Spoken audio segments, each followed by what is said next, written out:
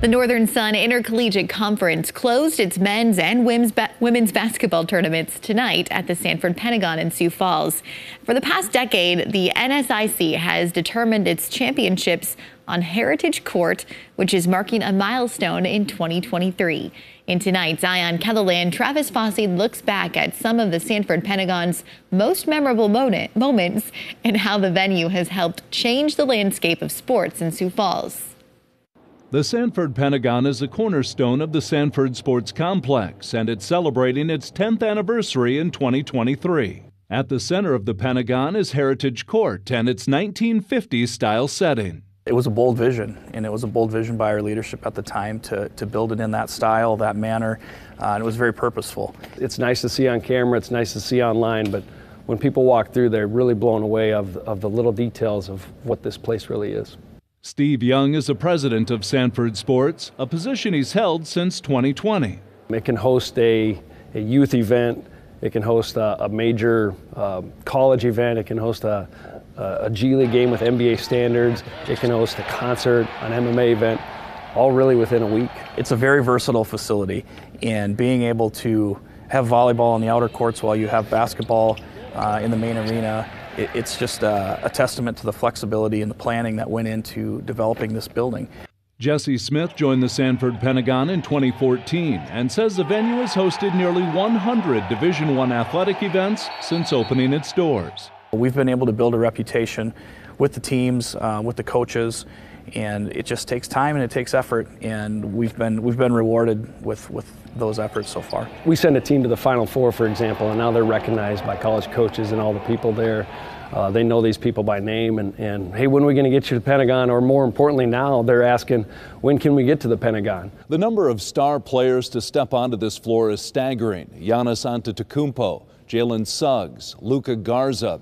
In fact, Suggs and Garza crossed paths in the biggest game ever played on this floor in 2020. Number one Gonzaga versus third ranked Iowa. It was pretty incredible to get that. It was unbelievable for us to be able to do that on CBS and then uh, to have the dividend of that of, of, people wanting to come back more and more. That one really was was what pushed us over the top. The first D1 game played on Heritage Court featured Wisconsin and St. John's in November 2013. Former Red Storm head coach Steve Lavin had this to say about the team's visit. It's as good a venue as as, uh, as I've been to. Uh, the locker rooms, all the uh, you know state of the art bells and whistles, and you know so from a design standpoint, it's uh, first rate. A year later, Wichita State was the first nationally ranked team to take the floor in a win over Memphis. Everyone here is first class. We're very, very grateful and thankful that we had an opportunity to play in this game in this great arena on ESPN. Obviously, it's really nice, renovated. kind of had that Hoosiers feel to it as far as uh, you know, old time, being back in the 60s kind of feeling. The Pentagon is more than just a place for big time college basketball. It's the grind every day of the academy kids, our coaches, and, and the ability for us to help those kids have a transformation in their sport of, of choice. And the action extends beyond Heritage Court. You know, we got nine courts here for basketball. We got several more for volleyball that we can turn into a major tournament where you as a parent, if you're from another area, you can park once. You have a place to stay, you have a place to eat, you have a place to watch your kid. The success of the Pentagon has spurred growth throughout the campus. You got Iceplex, you got Match Point, you've got Power and Grace Gymnastics, we got a Blue Rock and a Great Shots now, and a clinic, a couple hotels. And it's still growing.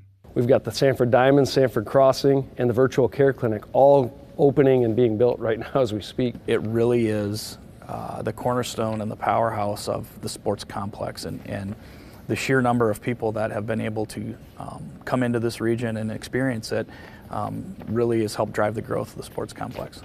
As for the future of the Sanford Pentagon, I want to see the NBA come back here. I think that'd be really fun. I'd like to see the WNBA get here. I think that'd be incredible as well. It's hard to think about what else can we do, but I know our team's going to come up with something great. With Eye on KELOLAND, I'm Travis Fossey. And without naming names, Smith says a prominent team with a Hall of Fame coach will be making its first appearance at the Sanford Pentagon next season. Something to look forward to.